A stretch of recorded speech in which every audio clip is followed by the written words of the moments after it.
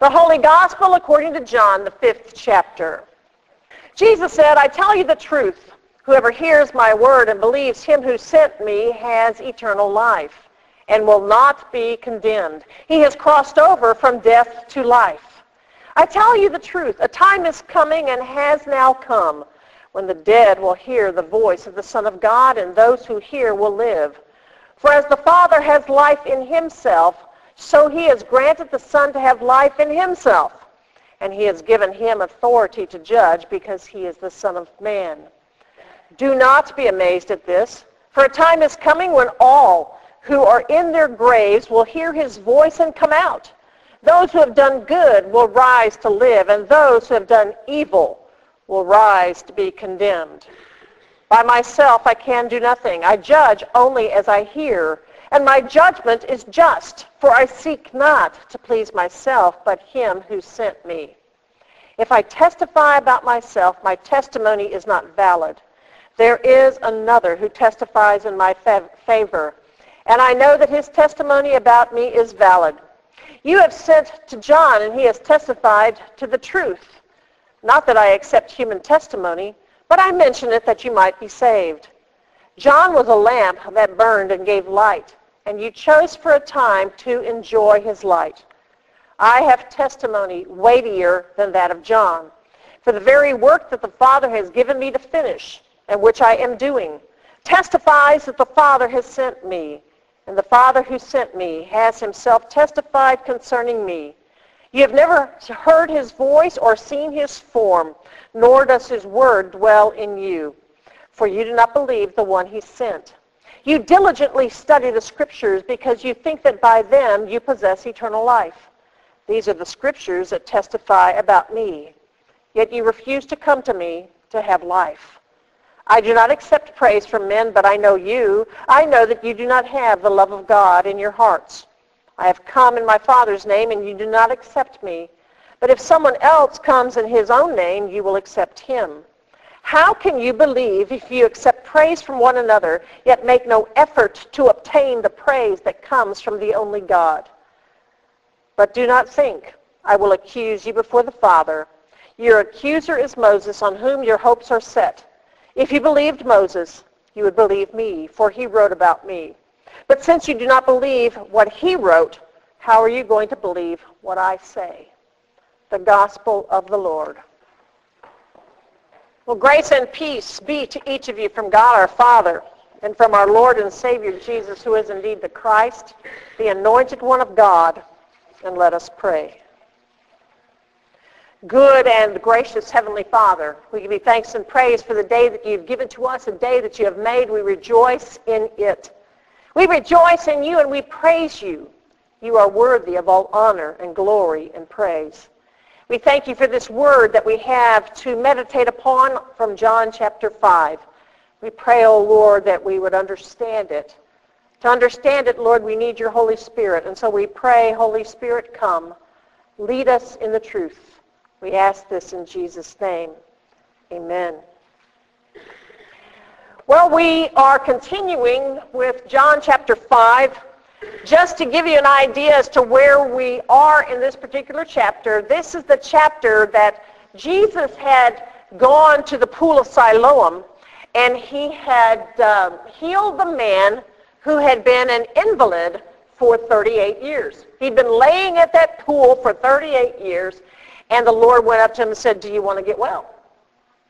The man actually didn't answer Jesus and Jesus did finally say, get up, take up your mat and go. That was all great, fine, and dandy for the man. He got up, took up his mat, and went, but it was on the Sabbath. And so the Pharisees were pretty bent out of shape about the fact that Jesus was healing on the Sabbath. One of the things that we're going to hear in today's uh, message, and you've already heard it, but we'll hear it again, is that Jesus does what his Father does. So when he was healing on the Sabbath, even though it broke the traditions of men, Jesus was completely in accord with what his Father wanted him to do. So we start at verse 24 and we hear these words, I tell you the truth, said Jesus, whoever hears my word and believes him who sent me has eternal life and he will not be condemned. He has crossed over from death to life. This verse isn't really any different than John 3.16. For God so loved the world that he gave his one and only Son, that whoever believes in him should not perish but have eternal life. He's saying here, whoever hears my word, whoever believes my word. He's not simply believing my word alone. He's believing the one that sent me. And if he believes or she believes the one who sent me, that one has eternal life. They have crossed over from death to life. We have all been born into spiritual darkness and spiritual death, but when we come to, to faith in Jesus, we cross over from spiritual death spiritual life is where we now are. Faith is the assurance that God has done all of this for us through Jesus. We are told in the scriptures, and we need to understand this, that, you know, when Jesus was talking to these Pharisees, he was really wanting to let them know they were in opposition to him because he was breaking the traditions of men. But he really wanted them to know that whenever they heard the word of truth, they needed to respond. There's a scripture passage from 1 Corinthians where Paul says, now is the time of God's favor. Now is the day of salvation. When Jesus spoke those words to those particular Pharisees, he was saying, now is the time. Cross over now from death to life. The Son is doing what the Father wants him to do. Believe. Believe. He continues with verse 25. He says, I tell you the truth, a time is coming and has now come when the dead will hear the voice of the Son of God and those who hear will live. What he's talking about there is what I've already mentioned. The dead being the spiritually dead. That's where all of us begin. Thanks to Adam and Eve. We all begin spiritually dead. We all have no way of moving from spiritual death to spiritual life except through faith in Jesus, except that the Holy Spirit work a work of faith in us and creates the ability for us to believe this good news. Jesus is saying to them, it is the truth. The time has now come when the spiritually dead will hear the voice of the Son of God, and those who hear will live. Unfortunately, not everybody hears the voice of the Son of God. Not everybody accepts the voice of the Son of God. You see, being born spiritually dead,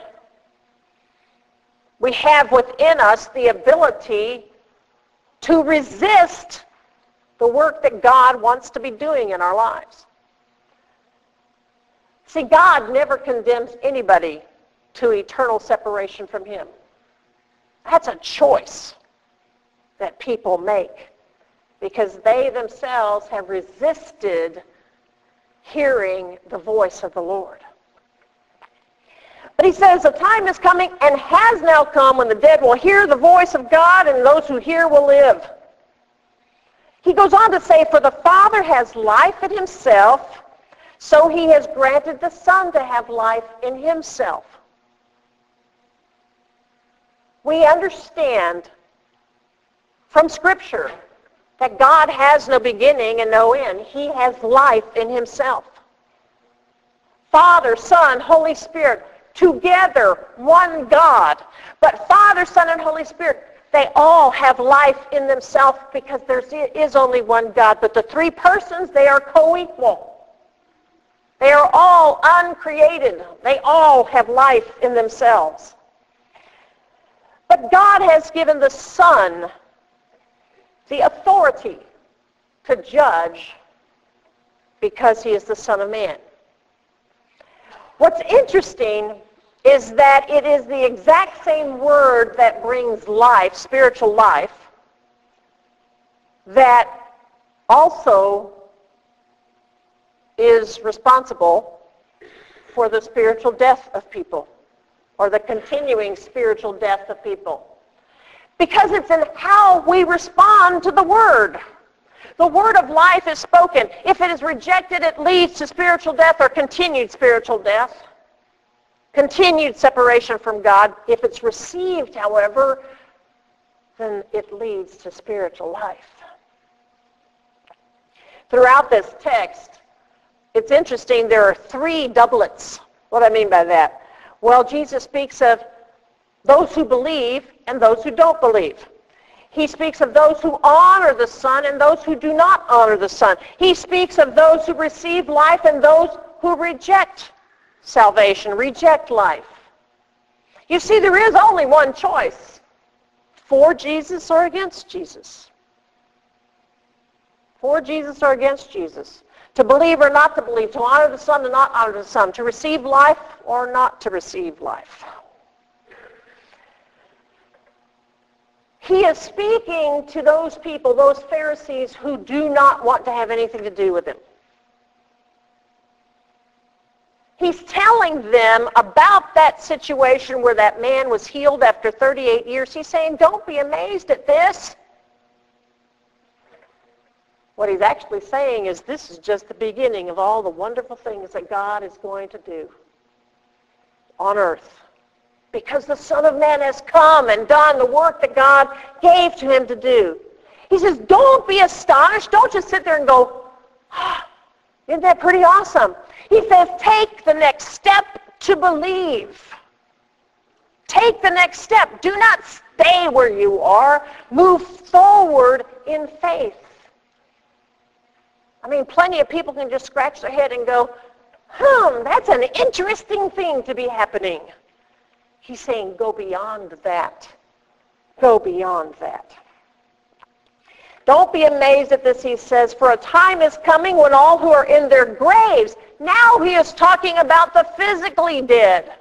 He started out with those that were spiritually dead. Now he's talking about the physically dead. Those who are in their graves, those who are physically dead will hear his voice and come out. He's talking about the resurrection of the dead in the last day.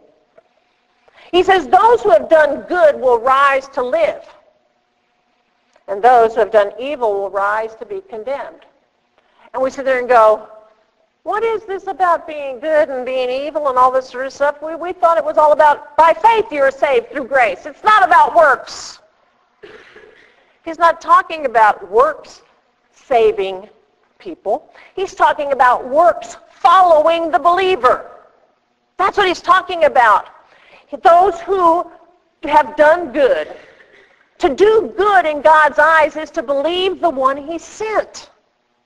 That's what doing good is. But then good works will follow those who believe.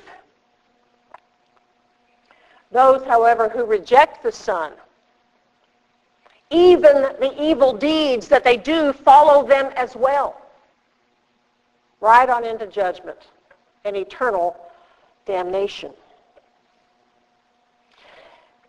Now, Jesus again goes on to talk about judgment. He says, by myself I can do nothing. I judge only as I hear, and my judgment is just, for I seek not to please myself, but to please him who sent me. Jesus didn't do anything to please himself. He wasn't a free agent as we think of free agents. He was not independent of the Father. He was totally interdependent. The Godhead is totally interdependent. It is totally one. So what Jesus was doing, he was doing everything the Father had assigned him to do, and he was here to complete the work the Father had given to him, and he came only to please the Father. Remember, he did it all so that we could see the Father. That's how he could then tell Philip at the end, have I been with you so long, Philip, and yet you do not know me? Those who have seen me have seen the Father. He was a perfect representative of the Father. He represented him 100%. Then, when we get to verse 31, Jesus starts talking about testimonies. Testimonies that will be, uh, well, a testimony is a witness, and so the witnesses that would point to him. He says, if I witness about myself, he says, my testimony is not valid. In the Jewish culture, it was on the word of two or three witnesses that something is established. Two or three witnesses outside of the person that was, you know, you know, being on the defense. So Jesus, even though he was absolutely speaking the truth, he was also saying there are other witnesses besides myself. He says, there is another who testifies in my favor, and I know that his testimony about me is valid. Eventually, Holy Spirit will be one who testifies, but this one, he is speaking about the Father. He says, I know that his testimony is absolutely valid. The Father puts his stamp of approval on the Son, testifies, witnesses to the Son. He said, you are my beloved Son in whom I am well pleased.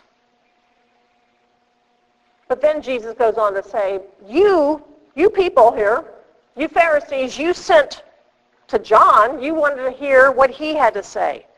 John was indeed a, a, a person to testify to me, or may a witness be a witness to me. But John was a human witness. He was a valid witness. He was certainly a, a true witness of the Lord Jesus, but he was a human witness. So, as wonderful as that is, there was even a greater witness than John. And he starts to talk about the fact that there were these other witnesses. The weightier witnesses, the ones that had the most validity. John, Jesus now talks about. He says, the very work that the Father has given me to finish and which I am doing testifies the Father has sent me. So he says, the work I'm doing, look at the work I'm doing. What was he doing? He was proclaiming that the kingdom of God was at hand. And then he showed the kingdom of God through what he did. He healed the sick. He raised the dead. He cast out demons. He cleansed lepers. He made the lame to walk, the blind to see, the deaf to hear, the mute to speak, and more. So he spoke the Word of God and he demonstrated the Word of God. So he said the very work is a witness. Then he said the Father who sent me has himself testified concerning him. The Father did it through the Word. The Word of God testifies from one end of the book to the other, from Genesis to Revelation, that Jesus is the Christ of God. We heard that in our psalm this morning. We heard a witness that it was going to be God who was going to redeem Israel from all their sins. In verse 8 of Psalm 30, or verse 7, it says, O Israel, put your hope in the Lord, for with the Lord is unfailing love, and with him is full redemption. He himself will redeem Israel from all their sins. He himself, not somebody else. God himself would be the one to redeem the world. Jesus here, when he says, the Father who sent me himself testifies concerning me. He goes on to say, You have never heard his voice nor seen his form, nor does his word dwell in you, for you do not believe the one he sent. Remember, he's talking to those Pharisees that were complaining about the fact that he healed a man who had been an invalid for 38 years because he healed on the Sabbath. That's why Jesus could say, his word does not abide in you. Because, see, they were rejecting what they were seeing with their own eyes. He goes on to say, you diligently study the scriptures because you think by them you possess eternal life. And he says, but the scriptures are testifying about me. He says, I'm standing right here in front of you. Those scriptures are pointing to me. You're studying them and yet you are missing the point because they point to me. The scriptures testify about Jesus. The work Jesus did testified about Jesus. The Father testified about Jesus. The scriptures testified about Jesus. He goes on to say, I do not accept the praise from men. But I know you. I know that you do not have the love of God in your hearts. I've come in my Father's name and you do not accept me. But if somebody comes in their own name, you're going to accept them. He's like, get a clue. Why do you accept the praise of men? But do not go seeking the praise which comes from God. The Pharisees, they were all into the books of Moses. You know, Moses, you know, we're the disciples of Moses. We're the disciples of Moses, they were saying. Jesus goes on to say, I'm not going to be the one that's going to accuse you before the Father. You've put your trust in Moses. He wrote about me. He wrote about me. Already in Genesis chapter 3, when the Lord is speaking to the serpent after the man and the woman sinned, what were the words of Moses? On the lips of God, we hear these words, I will put enmity between you and the woman, between your seed and her seed. He will crush your head and you will strike his heel. God said already in the beginning that he and not another was going to be the Savior of the world. In Deuteronomy, before Moses' death, he said, the Lord is going to raise up a prophet like myself from among you from among your own brothers. Jesus came out of the tribe of Judah. And Moses was saying already then, listen to him. You must listen to him.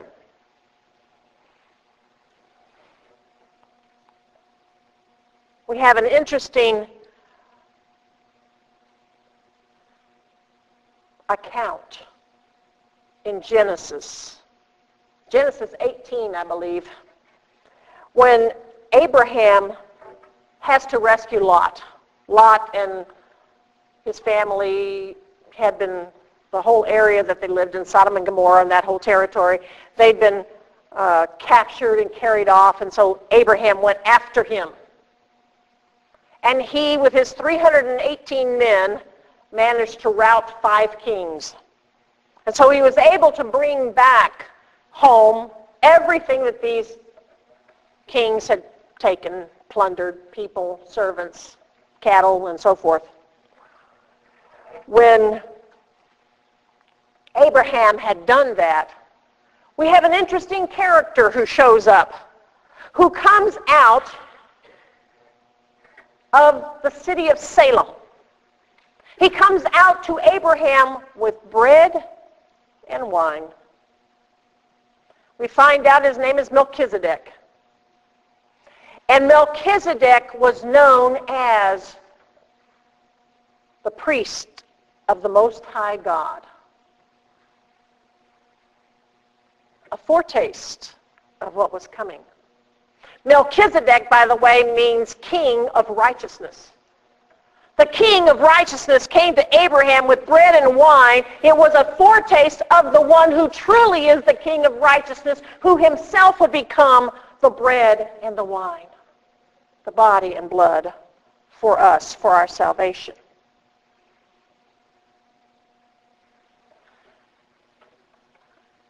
You know, Jesus got onto these characters because he was standing right in front of them.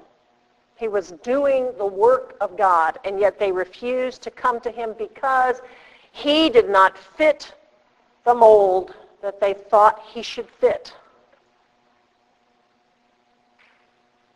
God doesn't fit in molds. God doesn't fit in the boxes that we try to put him in. It behooves us to follow the God of the Bible and the gods that we create in our own minds. It doesn't fit. We've got to take what's in the Word of God and we've got to believe what's there, even if it does not compute with us. God is so much greater than our imaginations.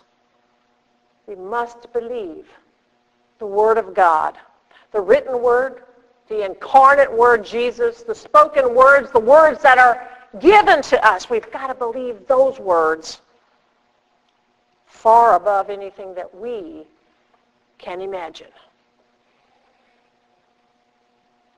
This is truly an extraordinary text from John chapter 5. I pray that after we leave here today, we would meditate on it further. It's good, meaty. It's good and meaty. That's what I wanted to say. It's good and meaty. It's worth chewing over time and time and time again. And so I pray we will. Amen and amen.